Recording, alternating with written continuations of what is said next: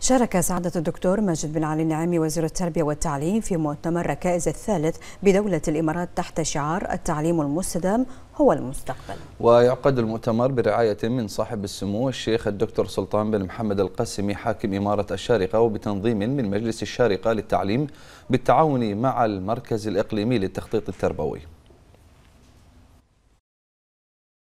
قدم سعادة وزير التربية والتعليم خلال الجلسة الرئيسية في مؤتمر ركائز عرضا تحدث خلاله عن مفهوم التعليم المستدام وهو نهج تعليمي متوازن ومتكامل للتنمية المستدامة يستهدف إعداد أجيال الحاضر والمستقبل بأقل التكاليف البشرية والمادية والطبيعية.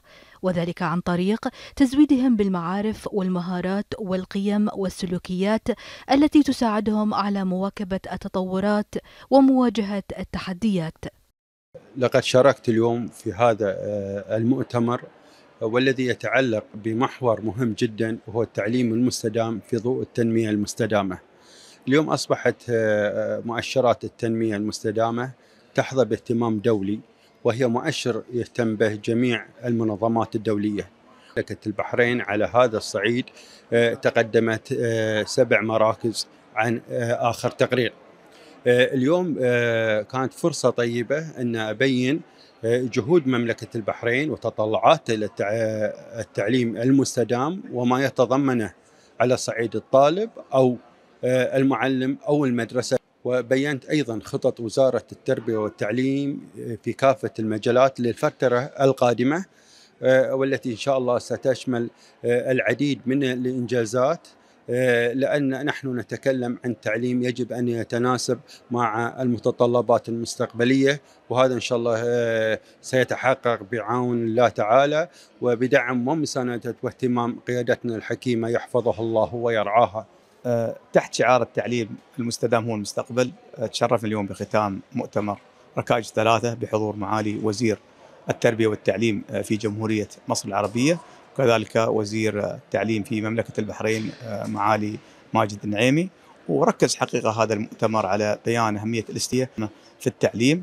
وكذلك الاستفاد من الخبرات الموجودة الإقليمية والمحلية. آه، والحمد لله إن شاء الله توصيات هذا المؤتمر يستفيد منه كل المعنيين في الميدان التربوي داخل الدولة وخارج الدولة والتعليم مثل ما يعرف الجميع هو عمل تشاركي الكل يستفيد من الكل. ونحن آه، نستفيد من إخواننا في البحرين ومن إخواننا في مصر. وكذلك إذا كان عندنا شيء جيد نتشرف أن نحن نستفيد منه.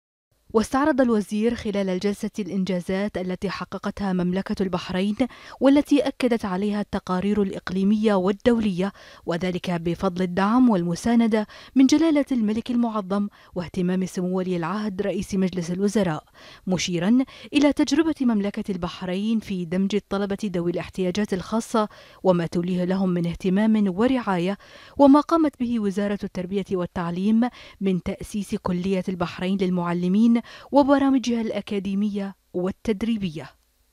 كما تطرق الوزير إلى دور المنظومة الإلكترونية في الوزارة والتي عززها بشكل كبير وبارز مشروع جلالة الملك حمد لمدارس المستقبل والتمكين الرقمي. وما قدمته بوابة الوزارة التعليمية الإلكترونية من خدمات ساهمت في استدامة التعليم خلال فترة جائحة كورونا.